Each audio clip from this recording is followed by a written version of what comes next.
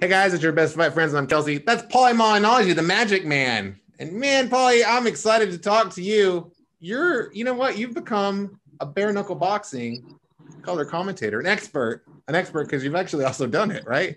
So talk to me about calling July 16th. You got BYB Extreme Six. What do you love about bare knuckle boxing, Paulie? Um, there's a lot of things, you know. Uh, I think the the fans get a kick out of it. You know, shorter fights, it forces the action. Um, there's less options for defense because it's hard to really block when you have bare hands, you know. Yeah. So you use the gloves to block. So less options for defense means more offensive action.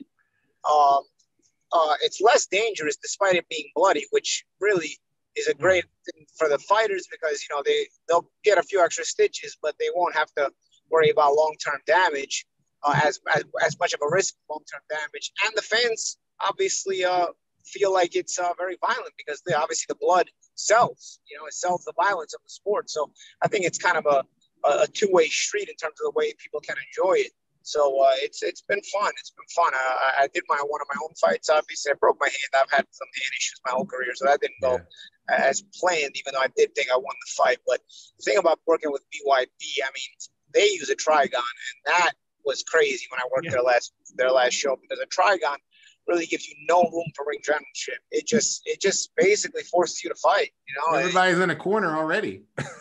yeah, no matter where you back up, you're in the you wind up in a corner. So it's kind of it's like back up at your own back up at your own risk, you know, because if you wind up if you back up anywhere, you're gonna wind up in one of the three corners of the ring, and then there's no way to get out because the triangle, the trigon is a triangle, so the, the, the rope kind of just close you in there. It's, it's basically you got to fight your way off that corner. So so it's an interesting. Uh, it was an interesting scenario that it worked out BYB, but I think it brings an extra level of excitement because almost all the fights end in KOs. So it's yeah. crazy. Yeah, lots of blood, lots of KOs. What's funny, I like about my own life as a longtime boxing writer who now mostly covers MMA and other combat sports.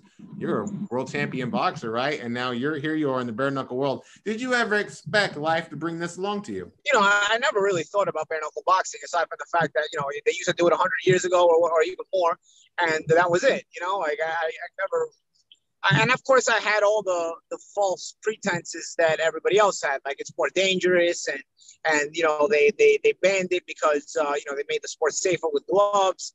In, in reality, the, the gloves made the sport more unsafe, you know, because the gloves are still so small that they pad your hands enough for you to keep loading heavy, heavy shots. Yeah. But they don't have enough padding.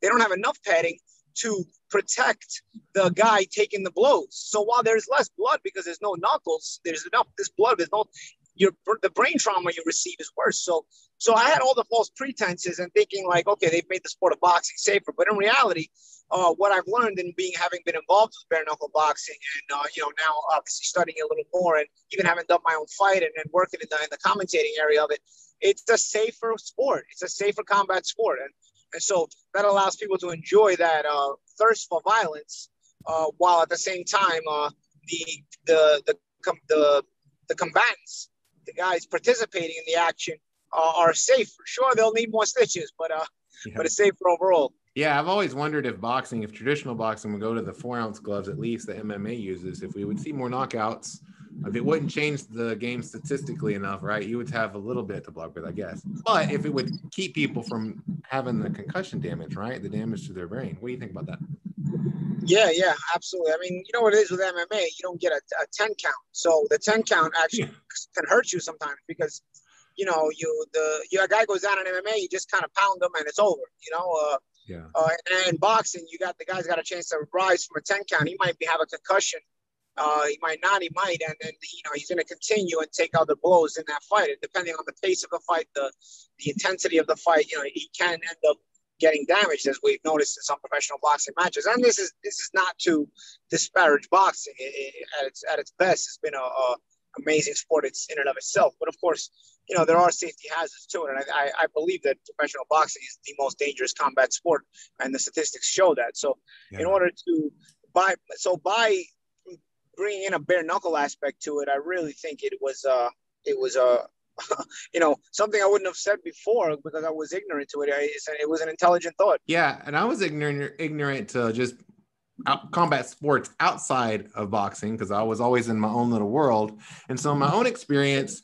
bare knuckle box or bare knuckle boxing, like the promotion that you're working with, MMA, even, and all these other things. I love it now because it gives so much more opportunity to fighters that maybe wouldn't otherwise have opportunity to people that like a retired fighter like yourself who does this job now or even my job, right? Um, can you talk a little bit about the proliferation of combat sports and where do you think this thing is heading? As far as combat sports in general, I, mean, I think people are getting more and more interested in it. You know, I think yeah. you've got your you've got your core combat sports fans, um, you've got your core boxing fans, your core MMA fans. I think I think in some ways they're actually very different. Oh, so I, I, do think that a lot of people that watch MMA don't watch boxing, and a lot of people that watch boxing don't watch MMA, which is strange because you know your thirst for violence kind of should uh, would you would think that would it would take you to the same place, but it doesn't. Uh, ultimately, though, I do think there's a, there's a crossover portion of it. Um, and while there is a lot to complain about the YouTube generation, it also brings in an added uh, audience, an yeah. audience that had no idea about either combat sport in a lot of ways, and now they're bringing their their uh, they're they're bringing their audience to the to the sport as well. So um, it's getting a it's a little bit of a, a mixed bag. It's a little bit of a, of a, confusion in some ways, but at the same time, um, you know, there's pros and cons to it. It's not all negative when I, I, see a lot of people complaining about it. Even I've done my own complaining about it because you know I, I do think it waters down the talent pool, but at the same time, it does put more eyes on the sport and therefore guaranteeing that these kind of combat sports uh, continue uh, to be prolific on our, on our television sets. And when I see when you mention the YouTube generation, I see like people like Jake Paul or Logan Paul that have millions and millions of fans, celebrities come in and take their boxing training seriously. They might do say crazy crap outside of the ring, right? But you can tell with their punches are straighter than like a person on the street. Do you feel like yeah. that helps boxing? Um, you know, I think in some ways it helps it in terms of brings a new audience to the table, yeah. but at the same time, um, it also does hurt it because you know people um, are you've got more ignorant fans coming to the table, so it's harder to have a conversation with an intelligent fan. Uh, yeah. But at the same time, there's more eyes watching the sport, so I guess it's uh, pick your poison. There's good and there's bad. I guess I guess uh, you know it's, it's like I said before, it's a mixed bag. Yeah, one, you probably Paulie Malignaggi having a conversation with your regular fan. Most people are going to seem ignorant to you because, you know, like you've been in the sport so long, you've done it your whole life, and on top of that, you're just a fantastic analyst, man. I know that you're award you're awarded that as the analyst of the year, right, by the BWA. I remember that. Yeah, yeah, uh, year, years back, yeah. You do great work. Now you're doing it for bare knuckle boxing. How much of your boxing knowledge from that part of your life translates into what you do today? a lot of it. You know, um, having done bare knuckle boxing myself, uh, I, I, kind of have see the subtle differences necessary um, in uh, in being successful in bare knuckle boxing, while at the same time also seeing the the similarities as well. You know, there's differences and there's similarities, um, and having I can draw from the experiences I had in the ring, and uh, and luckily I've got uh, an ability to uh, narrate the things a little bit better than a lot of fighters. So so I'm able to uh, kind of hopefully bring a better understand, better key understanding to people, you know, and, and, have them understand the action a little bit better. There, I've seen two bare knuckle events in my life. One of them was when you fought Artem Lobov. The other one was the Paige Van Zant one when she came over. What's funny yeah, about the one with you and Lobov is that I feel like boxing fans who watched that fight, like myself, thought you won because we're used to watching boxing. And then maybe MMA fans were like, no, this other guy won because he was aggressive. So it's just a. Yeah. yeah. well, that's what I hope to bring to the uh, to the table because I noticed that a lot of the MMA fans are uh, are watches bare knuckle boxing. A lot of boxing fans kind of shy away from it, and um, unfortunately, MMA fans are probably the dumbest fans of combat sports. So I hope to bring that education to them uh, in my commentating and help them understand what they're watching. Because I don't think they, I, I, think MMA fans just kind of love, love the kicks and love all that high flying action of the MMA world, uh, but they don't actually understand any of it. Hmm. Um, maybe they took a couple of jiu-jitsu classes and understand some grappling. Um, but as far as the stand-up of boxing is, is concerned, they definitely don't understand any of it. So um, overall, um, it's an ignorant crowd. But of course, I look at it like a blank canvas, and if you can uh, kind of help mold them and help them understand a little bit better, uh, I think it's uh, it's a great thing. You know, uh, even the last show I worked in for BYB, um, you know, I was kind of trying to bring out the traps fighters were setting up and stuff like that. You know, just things that you don't usually hear uh, um, in MMA commentating or in bare knuckle boxing commentating, uh, so that it can be brought out to the fans. You know, there's there's traps being set. It's not just it's not just guys throwing punches yeah. and people bleeding and then people getting knocked out. You know, that maybe when you're drinking your beer and you're in the you're in the, the first row, you're just yelling for it, okay. But in reality, there's a there's a technique these guys are using and they're fighting with, and and uh, there's a talent behind it as well. And so uh, I'd like to bring out how, what I do enjoy is bringing out how the result came about, how how this punch was landed. It was not just thrown and then it landed. It was set up behind this or or or, tra- or, or disguised behind this other move or whatever. Uh, and I'll try to bring that out. And uh, I feel like uh, the more I can do that, the more I can educate these people and uh, understand a little bit better. I know that me going from boxing and learning about MMA, I feel like I'm ignorant about most of MMA. I don't know crap about jujitsu or wrestling. But you're right. In boxing, even a lot of boxing fans though don't really know what they're watching in boxing, right? There's things that you guys, when you were fighting, would do as professionals to set things up that if unless you've done it, you might not ever know it. Yeah, yeah, of course. There's a lot of things unless you've done it, you never know. And then people get offended when you say that. But for example, the key thing for me in, in boxing and, and, in, and, in, fighting in general actually is range. Your ability to understand your range, yeah. which is your distance, control it, and keep the fight at that range and that distance. Um, I think it's very, very simple to understand. I don't see why people would be so stupid to not understand it. Uh, whether whether or not go forward or you can go backwards, depend your range. You want to maintain that range, and sometimes it's necessary to go forward to maintain that range, and sometimes it's necessary to back up when you maintain that range. As long as and I and and I think that uh, a lot of boxing fans don't understand this, but probably all MMA fans know about this, you know.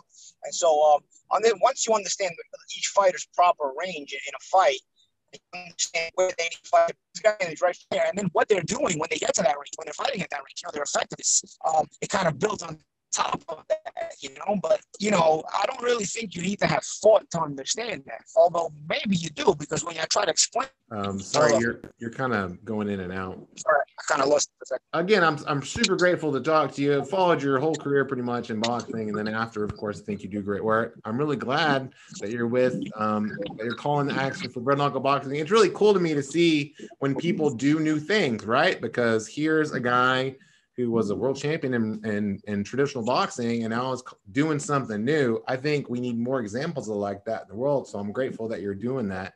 You're showing that to people.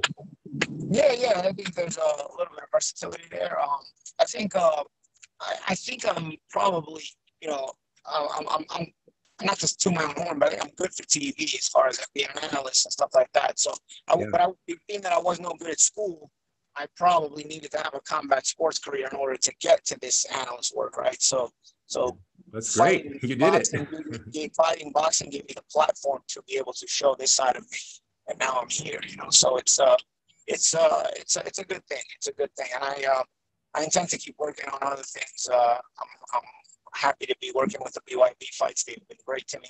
Uh, Mike from BYB has been uh, amazing, and uh, I hope to also be uh, be doing be calling uh, fights in boxing again soon as well. So, um, you know, the more involvement, the better. You know, I enjoy it.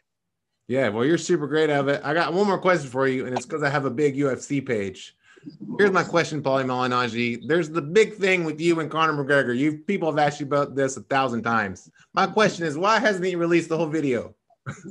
I mean, I, I think it's self-explanatory. I think again, this is probably one of the reasons I feel that crowd is probably the dumbest in sports. I mean, if the guy didn't release the video, you kind of see what what he's about. You know, I mean, you kind of probably imagine what. what and he hasn't fought me. If he if he hadn't released it, but then he fought me, okay. But he hasn't fought me. He's fought everybody but me. Yeah. Uh, he's been everybody's punching bag except mine at this point. You know, that's what he's all he's been is punching bags since, since that happened. So he's been everybody's punching bag except me. Um, you know, he, what started, what everybody doesn't realize is he started, he started out as my punching bag in the gym. So I get dibs on that. He started out as my punching bag in the gym and then he became everybody else's punching bag afterwards. Yeah. But of course, you're not going to see that because he showed you a couple of edited clips. And he, yeah, of course, he landed a couple of good shots. It was the last rounds. I wasn't in great shape.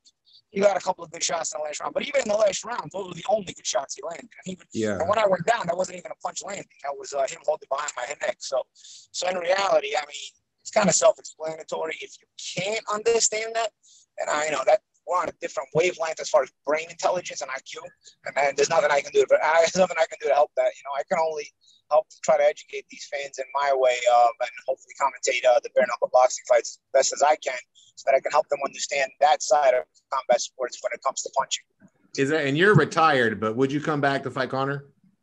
Um, I think at this point, I'm not sure. You know, uh, I mean, I mean, I, I, I, I probably I'd be tempted to. Um, but I'd only probably for Conor, like I'd be tempted to do a lot of things. But for Conor, it would have to be winner takes all because he's got to he's got to fight me for free, and, and I don't and I don't think that's ever going to happen because he knows he he knows if we fall winner takes all, then he'd be fighting for free, you know, and yeah. then so that he's not going to do that. So, so I think for Conor, the only way I'd probably fight him is if, if it, it, would have to be a winner takes all fight, you know, and, and obviously no commission allows that, so we would put like a stipulation like the loser gets like fifteen hundred dollars, you know, and the winner gets the other hundred million, you know. So, so I, that would probably be the only way I'd fight him, you know. Anybody, anybody else, you know, I'm always, I'm always open to things, you know. Uh, there's a there's a there's a, a, nutty exhibition circuit going on right now. I'm yeah, sure there is.